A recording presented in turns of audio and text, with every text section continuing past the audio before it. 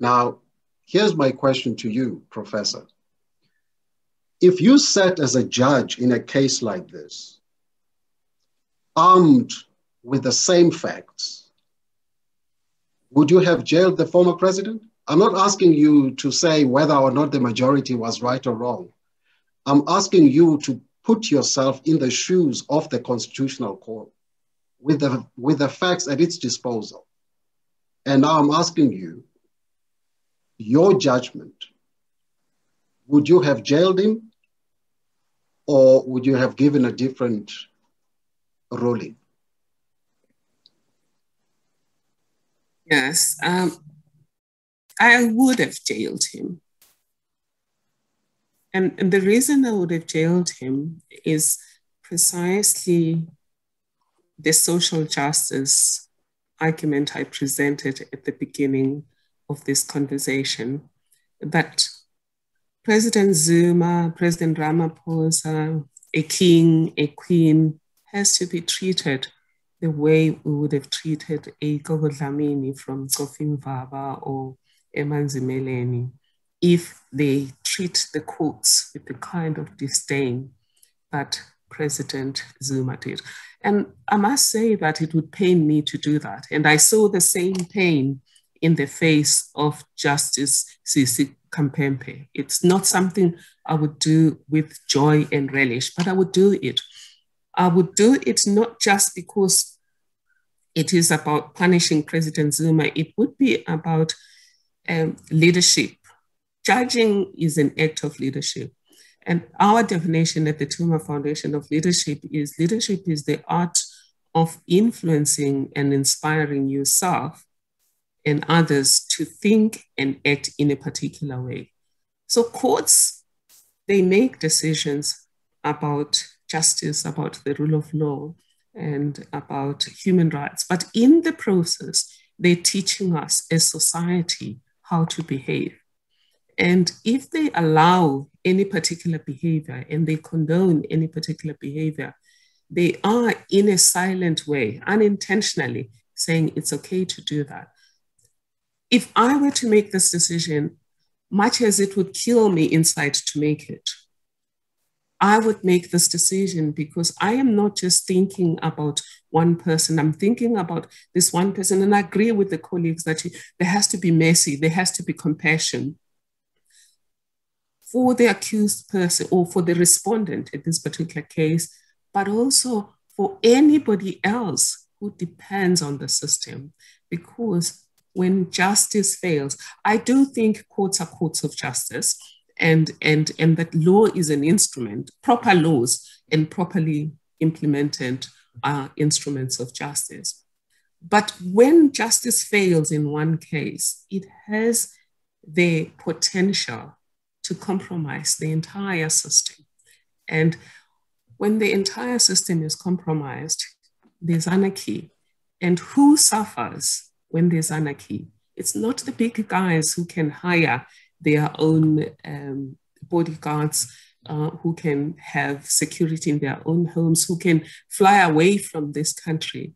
When chaos breaks, it's the ordinary Gogo Dlamini who's suffering from the intersection of racism, sexism, classism, and other forms of oppression in this country. Thank you.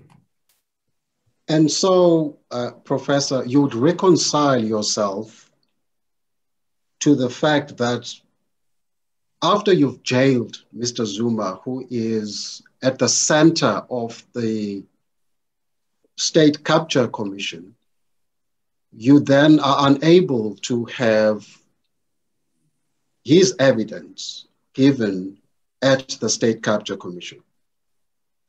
Well, correct? No, that's not necessarily so. so. The fact that President Zuma has been jailed would not prevent him from voluntarily giving his, his evidence at the commission. All it does, it is that it takes away the possibility of him giving that evidence under compulsion. In other words, there's no coercive order from the Constitutional Court, but there's also no order that prevents him from, if he changes his mind and he thinks he finally does want to give evidence at the commission, he's free, even if he's in jail. All right, I have to ask you this follow up question. The minority says that the judgment has developed the law of civil contempt to meet the peculiarity um, of the circumstances in this case. It says the majority leaves in its wake law that is not only bad, but also unconstitutional. That's what the minority says. Now, when two justices of the Constitutional Court say in a judgment that seven of their colleagues have made a judgment that is not only bad, but also unconstitutional, does that, in your assessment, not engage Section 2 of the Constitution, which says all law or conduct that is, is, that is inconsistent with the Constitution is invalid? And if it does, what is the value in your assessment of the judgment of the majority that two justices of the Constitutional Court says is not only bad, but uh, unconstitutional? Have I said the question clearly or must I rephrase it?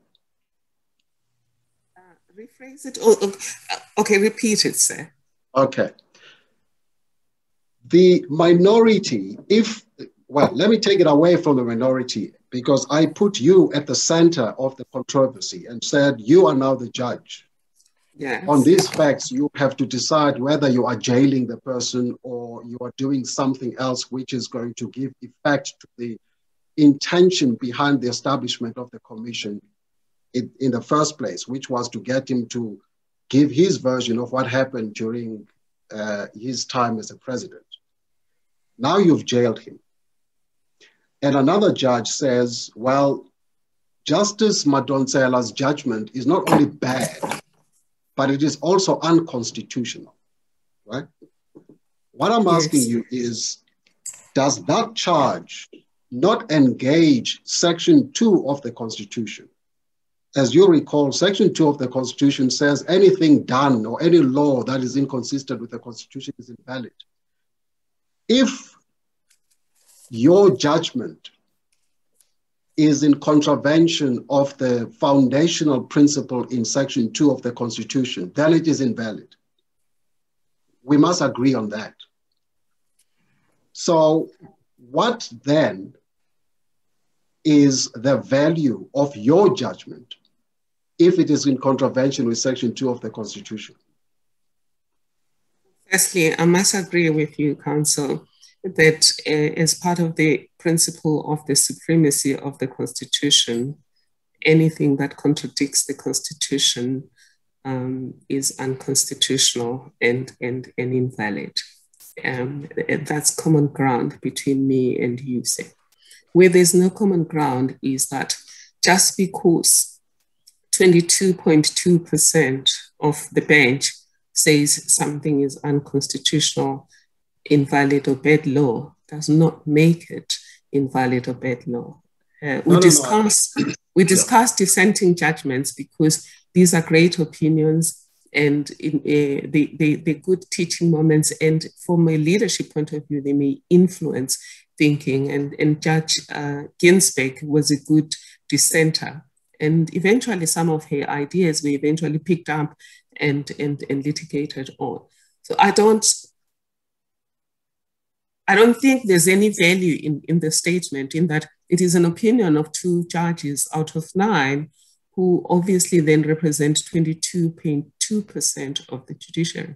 I want to also say something that maybe people are not aware of is that it's just no, no, in this, but in, Oh, sorry to interrupt you. Before you, you go away from this, uh, Professor. No, I'm still on this uh, on, on, on this point, Counsel. I want to say, do you know that in those cases where the judges don't say these words, it's just in this case they've stipulated uh, their view that this is unconstitutional and bad law. In all cases where there's a dissenting judgment, and when it's a totally dissenting judgment, they basically, by implication, saying the majority judgment is bad law, is bad judgment, and is unconstitutional. And that doesn't necessarily make it so. Yes, no, I accept that. Which is why I, I try to take a, to take the, the the whole issue away from the two judges versus seven judges and put you at the center of it. I'm not saying the statement is correct that uh, the majority judgment is unconstitutional. I'm saying if that statement is correct, that your judgment in jailing Mr. Zuma is unconstitutional, what then are the implications for your judgment? And I understand you to say the simple answer is, of course, it's invalid, and it ends there. Non-constant that the fact that two judges say it is unconstitutional, therefore it is unconstitutional. That's not where I am at all. I just thought so. Firstly, it's we're not talking about a judgment that is a close call, where it is four to five. It is a very clear majority that thought that this was the only way. And yes, if of course my judgment, and I was the constitutional court, and I had made a judgment that was invalid and unconstitutional, um, it really would be impossible to do that because the Constitutional Court has a final say on what is constitutional. That's why we call them the ultimate guardians of the Constitution. But if, of course, I made this decision as a magistrate, as was the case in the, the Botha case that is wrongly uh, compared to this case, or if I was a High Court judge, then the president would obviously, or whoever I had wronged, would have an opportunity to take me on appeal or review, depending on what dimension of my impropriety they want to challenge or alleged impropriety they want to challenge. Okay, we we have exceeded our time, but um, I'm, I'm using my discretion because uh, these are important issues. There are a few other issues I want to touch on with the other panelists. I want to take this debate to the ethics side of things, Dr. Von Eck. Now, from an ethics point of view, in making the observation that the majority judgment is not only bad, but also unconstitutional, please bear in mind, I am not saying the minority judgment is correct or not correct in making that observation, right? From an ethical point of view, the minority making that observation, that the majority's judgment is not only bad, but also unconstitutional. Does the minority's view in your assessment not leave us with a dilemma from at least two perspectives? The first is that if the majority judgment is invalid, if the majority judgment is invalid by reason of being unconstitutional, what are the ethical implications for the majority judgment judges? That's the first question. The second is a related one. If the minority judgment is wrong in making that assessment, what are the ethical implications for the minority judgment judges? Dr. Von Eck, have I made myself clear? Yes, you have, and it is it is a tricky one. And of course, I think that there are a myriad of ethical implications. And often, when we look at situations, we tend not to see um, the various dimensions of the ethical implications in a particular area. And um, firstly, I want to say that uh, majority is not always right. So we we we we have to when we look at it through an ethics lens, we, we, we look at it from a balanced perspective. And then secondly, when we're talking about ethics, I don't think that we always have the same understanding of what ethics is. And so for me, if you if you were to take ethics at, a, at the heart of what ethics is, is do no harm, but the other side of the coin is empathy. And, and I'll link it back to what Musi said earlier on. So, but empathy for me is your ability to look through the lens of those who are affected and understand the harm that may be done to them. So if you're not able to look through the different lens, you may not see the harm. If you don't see the harm, you won't see the ethical implication.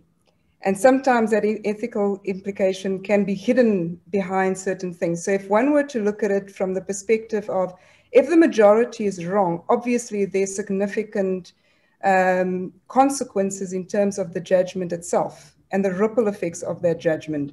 Um, and you wouldn't just look at the, um, the individual himself. So in this case, it's Mr. Zuma, but the ecosystem that would be affected by the fact that Mr. Zuma has been impacted upon um, from that perspective and the ripples thereof. So it, it, once again comes back to what does it mean for society? And you can look at it from a long term perspective. This could be setting a precedent that can be duplicated further into the future. And in those cases themselves, may have ethical implications in the broader ecosystem. From the minority perspective, um, this is a very serious, if, if I were to look at a cold outside of the legal profession and I was just looking at like from a professional body's perspective, here's a code of ethics. What, what, is, what has been bridged here in the code of ethics? Um, are we talking about competence and a deviation of standards? Are we talking about a serving of interest? Was there a conflict of interest potentially? And sometimes, and conflict of interest is one of those things that people often don't see. Is it a matter of significant lack of self awareness, and which ties back to competence and uh, whether judges are able to, to self reflect and see whether they're where they are wrong?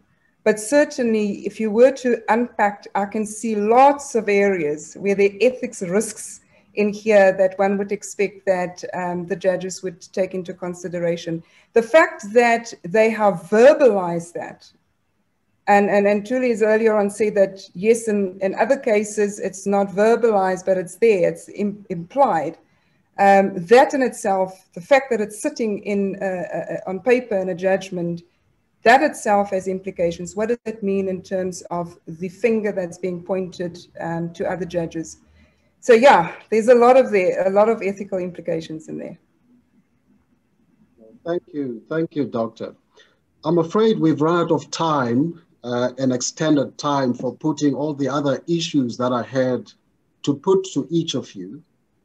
In the remaining few minutes, before I go to the que questions that have been put by people, people who have registered, I have just one question I must put to to all of you. Is it the end of the line for Mr. Zuma? I'm sure many people will want to know what are his options, if any? There have been talk on social media about Section 173 of the Constitution. Um, there's been talk about Rule 29 of the Constitution, where Mr. Zuma could apply to the Constitutional Court to have its judgment reconsidered and varied. Um, of course, there are certain standards that have to be met in order to, to uh, scale that hurdle. Others have mentioned the new African Court on Human and People's Rights, that perhaps they could go there if that court has jurisdiction. I leave you, and I'll, I'll point to each of you. You're uncomfortable to um, to give Mr. Zuma advice, please say so. I won't I won't hold you to it. Gogo Machiki, can I start with you? What advice would you give uh, um, Mr. Zuma and his and his team?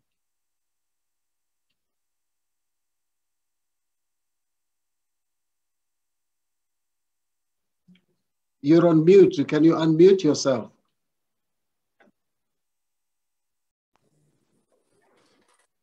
Uh, I I am glad you're starting with me because I have to go. Um, after making this comment, which will be my final comment. Um, the advice I would give not only to Mr. Zuma, but to all those who are participant in what may become a very explosive situation with national implications is that they must make no decision, make no choice uh, that will plunge the country into a state of political, social and probably economic instability.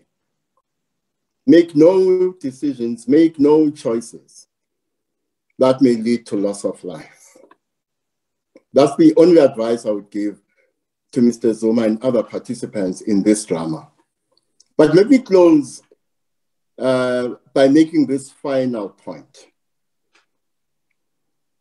We fought in a struggle against colonialism and apartheid. One of the things which informed that struggle is conscience. And therefore, our democratic institutions, including the Constitutional Court, are to some extent a product of that conscience. And therefore, what they must decide every time they make a judgment is whether the judgment is consistent with that conscience. Secondly, and lastly, there is an expectation that the judiciary should be embedded and autonomous or should be embedded but autonomous. The tricky thing about that is this. I've already spoken about how South Africa belongs to those who conquered it. I've already spoken about how a numerical minority has become a cultural majority whose ways of seeing and being and worldview have become dominant, which means there is an extent to which you must conceive of our institutions as institutions that are embedded in that reality and therefore can never be autonomous from that reality unless we engage in another struggle to free ourselves from that reality. Thank you, Tamak. Yes.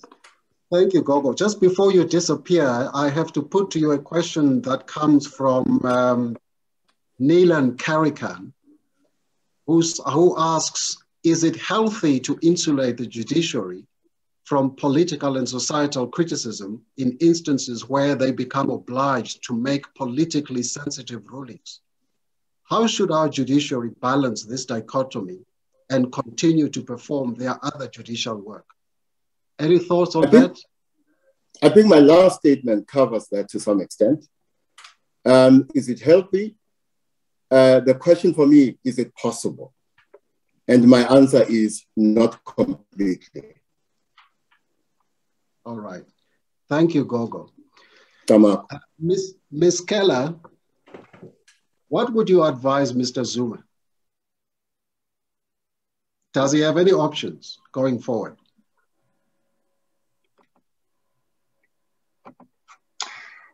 Thank you. Well, I think he, there has been talk of him appealing, and we'll hear from his statement to the nation this weekend, which I think is going to be a, fam, a critical family meeting.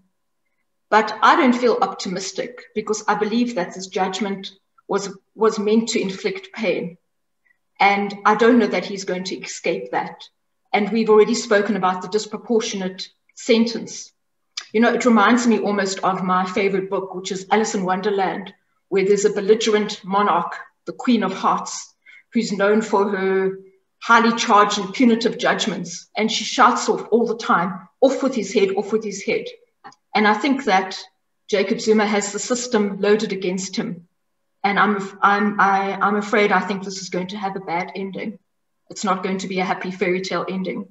So I think besides the appeal, um, let's hope his, his legal team does that. But beyond that, you know, I think, as I said, the story may have a sad ending for all. Well, of course, he, he doesn't have any appeal process, um, certainly not of which I'm aware. Um, can I put this question to you from an anonymous observer who says, You mentioned that Mr. Zuma was treated unfairly. What do you think is the solution to judiciary bias. I see this person seems to be in the same camp, if I can categorize it as that, as you, Ms. Heller. Um, what do you think is the solution to what he or she terms judicial bias? If I can just um, uh, indulge and just answer something from your previous question. When I say that his team should appeal, we're dealing with an unprecedented ruling where this has been escalated to the ConCourt. And perhaps it is necessary that the former president takes unprecedented action, concomitant action on this. So it's in that context that I raise the appeal. In terms of the elimination of judicial bias, I, do, I don't think it's possible in the society we have, which is why I was at pains in my introduction to speak about the context in which uh, the judiciary resides in which we, we all reside. I do not believe that until we change the fundamental ideology and ideas of society, uh, that we are going to actually see justice for Black people in this country. So until we have the philosophy of somebody like Steve Biko uh, infused in our schools and throughout every institution of this country, I'm afraid we're going to, uh, it's going to be a very long walk to judicial uh, justice and justice in this country for Black people. So, once again, I'm ending off on a pessimistic note because unless the fundamentals of our society are addressed structurally, culturally, and ideologically, we are going to remain in a perpetual pandemic of white supremacy. All right. Well, on, on that note, I think I wouldn't be doing my duty if I didn't go next to Professor uh, Madonsela, because the two of you seem to be at opposing ends. So it makes sense that um, I go to, to the professor immediately after your remarks, Ms. Uh, Ms. Keller. Professor, what advice would you give Mr. Zuma? my advice to President Zuma would be in future, use all opportunities that the law avails you. That in this particular case, you had an opportunity to address the judges when they send you a letter before sentencing or in consideration of possible sentencing and asked you to address the court. And I would say to President Zuma, in future, take advice that uh, empowers you to engage because none of us are always happy with the legal system, but it's all we have. And how we engage with it is we have to exhaust all available opportunities. Regarding what do you do now, President Zuma has now um, filed papers at the Constitutional Court for rescission of judgment and, and, and, and presenting the kinds of arguments that are presented to a court to ask it to rescind its own judgment uh, on the argument that maybe it didn't have enough information or it overlooked something. So hopefully this could be um, his chance. And after that, of course, there is presidential pardon. There's also the international human rights system. Sadly, the SADC court was killed by SADC leaders. It would have been available. But just the point that I made earlier, that the courts have a duty to treat everyone with compassion, as they did in S versus Makwanyane, as they did in Daniels versus Scribante. S versus Makwanyane was the death penalty case, and Daniels versus Scribante was a matter between a land tenant and, and owners of the land. But they have the unenviable duty in doing this to always balance. The courts also have to exercise systems thinking. They can't just look at the circumstances of the impacted person, the person right in front of them. They have to think about the ethics of this, the purpose of the decision, the impact of, of, of their decision in society today, tomorrow, and in the future. And ultimately, they have to also think about will this serve the country as a whole?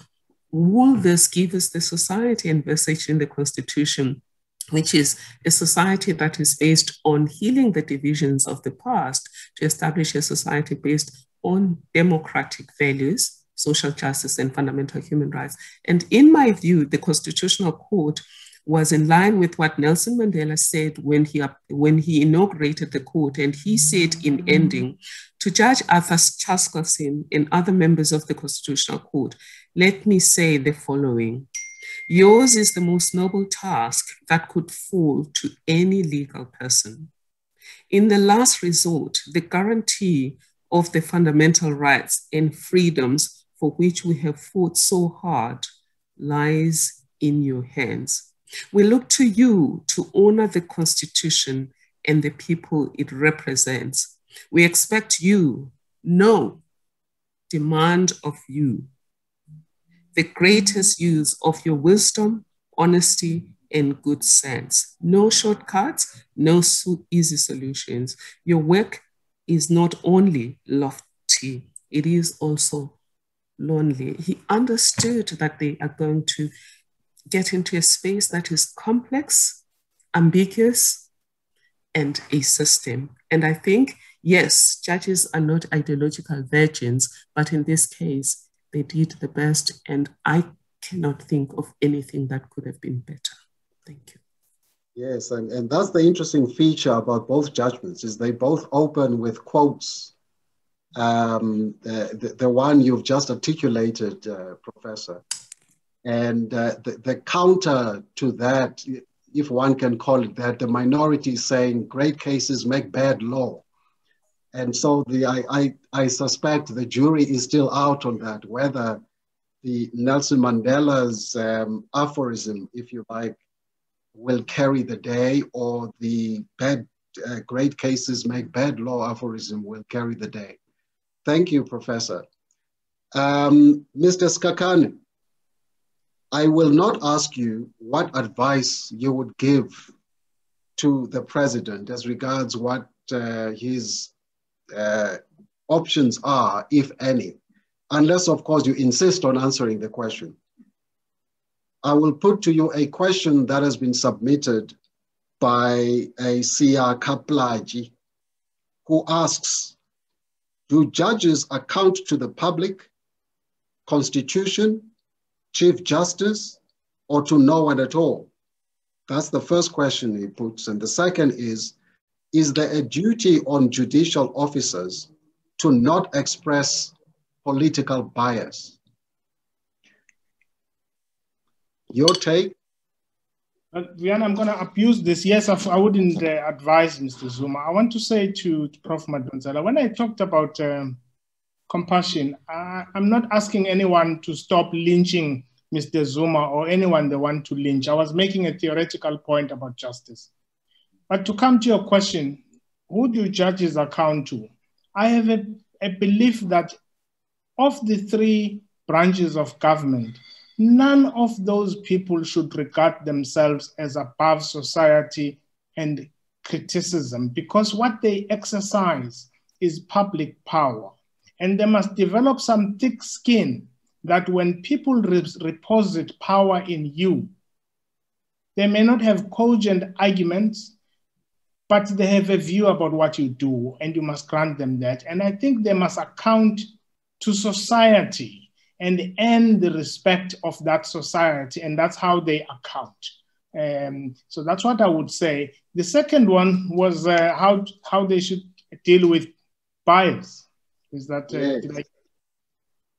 you know, he says, is there a duty on judicial officers not to express politically biased opinions? You know, it, it would, there's a there's a judge um, in the UK who says judges must learn to keep quiet because when they keep quiet in public, the public will continue to think they are clever and intellectuals. And when they open their mouths, the opposite is proved.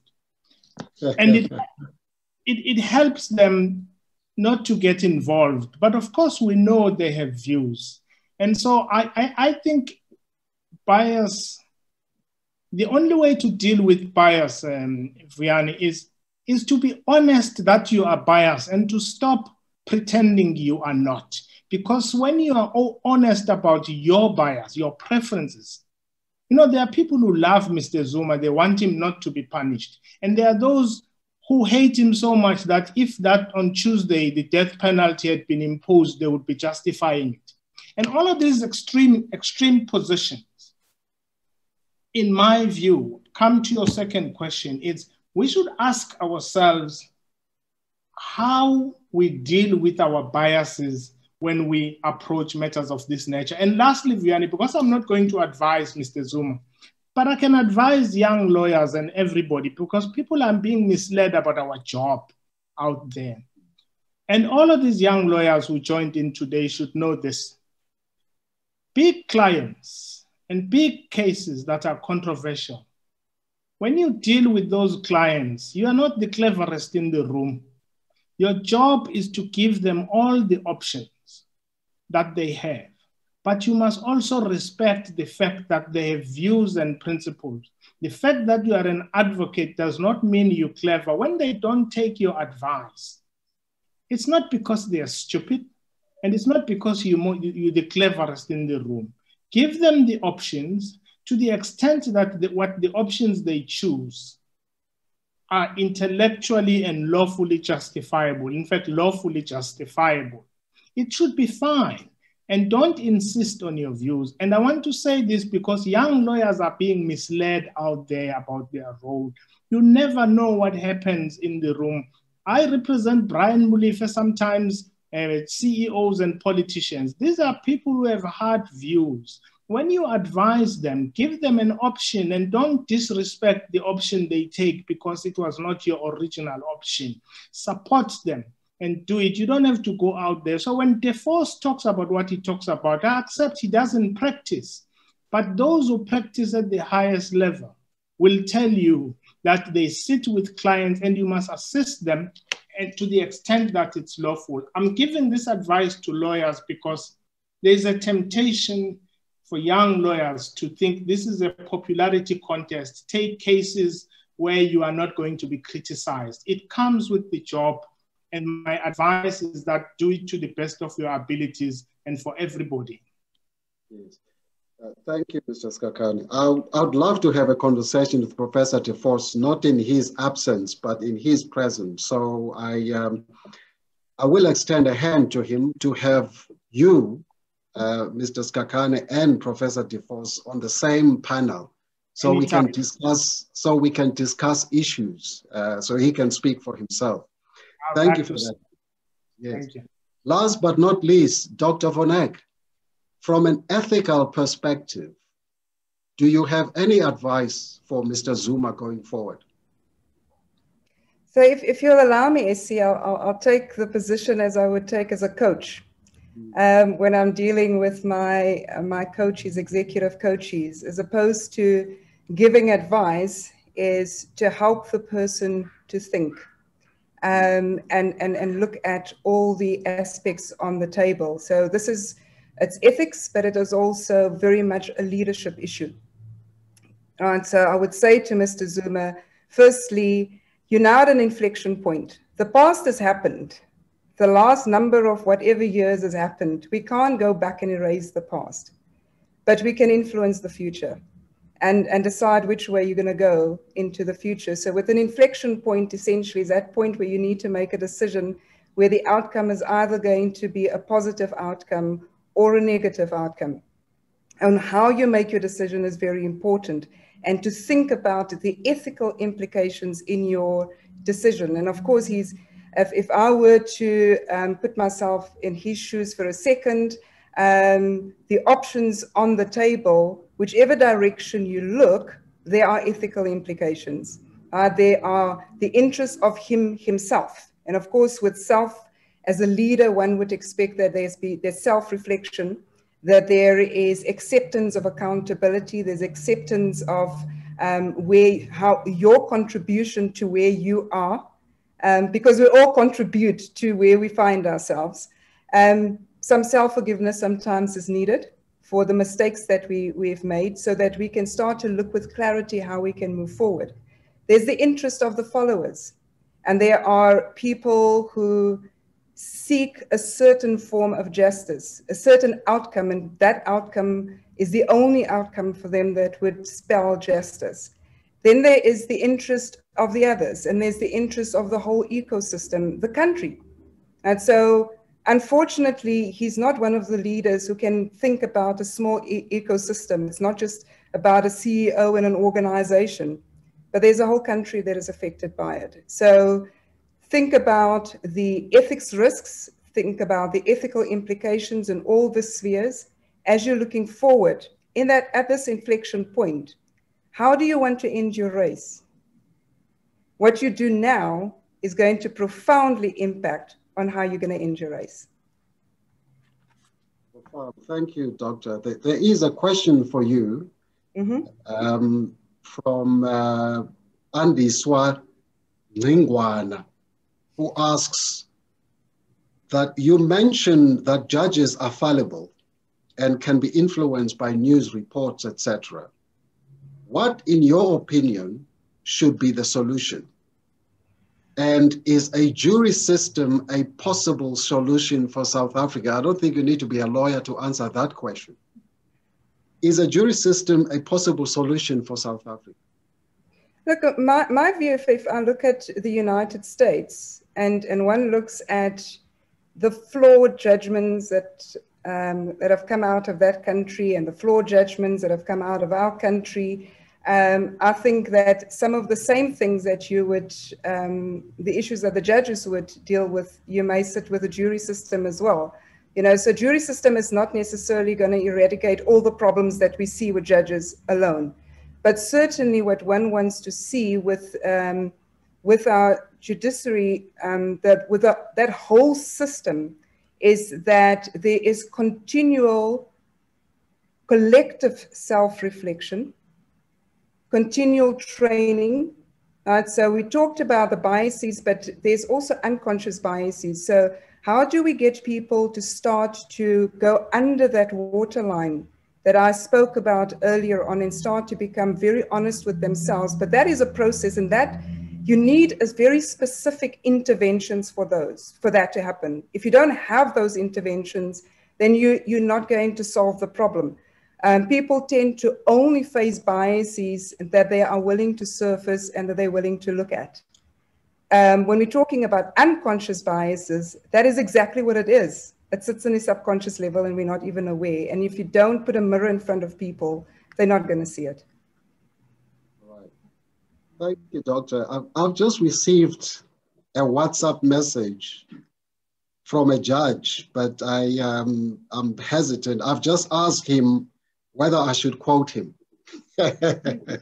so I'm, I'm waiting to see, I'm going to give him 60 seconds because this would, this would be breaking news, but I don't want to be sensational.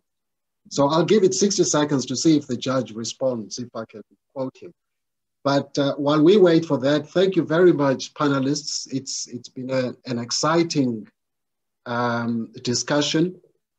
Um, and um, I, I am particularly happy about the fact that it's been multi-denominational, if you like, um, um, multi-vocational. We've had uh, professors of law, we've had uh, ethics and leadership experts, we've had a political analyst, we've had a social justice and political analyst and writer in our midst, and we've had a practicing advocate. I don't think you could have got a broader spread of opinion on a case such as this and broader. Um, um, yeah, I, I see the judge is typing, so let me see if uh, he's giving me permission to quote him.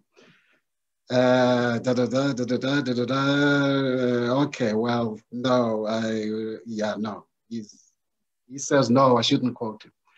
Uh, thank you, thank you very much. Thank you, thank you, thank you. And I hope that this is not the last time we we do we perform this exercise. And I'm looking forward to the next one. And I'll come back to you um, for for for another round on something else. Thank you very much, guys and and girls. Thank you, and thank you to everyone who has tuned in, taken the time of their Friday afternoons to um, to participate in this debate. Thank you all. If, if any one of you want to have final remarks, please go ahead. But this is the end. Yeah, and I, just I, say. I wanted to just say thank you to Prof and Doctor because as a PABASA member, I just thank them for coming because they really enrich the debate because it is actually when we differ like this that we teach society that we don't have to be a lynch mob because we differ. I'm very grateful. Well, thank you too. I also want to thank you, firstly, for inviting me, uh, knowing that I was likely to have different views, but also uh, that I was conflicted because this matter emerged from the Pub Protector. And thank you for the manner in which this has been conducted. And your facilitation has been quite lucid and excellent. And good luck to PABASA and the Pius Langa um, School of Advocacy or Advocacy Institute. Well done. And this is the way to raise leaders and intellectuals in our continent. I absolutely echo that, um, Essie. Thank you very much for allowing me to be part of the panel as well. But certainly, uh, first of all, when I saw the, the mix, I was delighted to see that the legal profession is reaching outside of its own to, to hear different voices. And too often we see, and I come out of the professional body space, so I'm speaking from that perspective. So too often we see professionals being very insular and, and inwardly looking um, and not looking at how they're being perceived by the rest of the world and hearing the other voices. And the more you listen to other voices and you, and you, and you start to integrate, um, we become um, much better professionals and better able to serve our purpose because the legal profession has a purpose and that, and that is very important for us to understand. And if it doesn't serve its purpose properly, um, all of us suffer, the whole collective suffers and in the process. So absolutely well done to PABASA. I think you, you're leading in this area and um, uh, it, it's very heartwarming. I'm going to sleep well this weekend. Thank you. Thank you, Prof. Ms. Keller? Thank you. Well, I'm, you know, I said at the beginning, it was such an honor to be part of this team and this panel, and I have great respect for all of you, whether we agree or not, and it's been a great pleasure. And I'd like to just say to your team, the whole exercise has been so flawless. You know, all of us do so many webinars, but to me, I think this is the most professional webinar I've ever participated in, in the way you briefed us and prepared us, and your team was really outstanding. So, you know, thank you so much. I see so many requests on Twitter for the recording. So I do hope that's made available because I think you've really provided some some excellent debate. So thank you very much to everybody. Thank you, thank you panelists. Thank you very much. Goodbye. Bye-bye. Bye, everybody.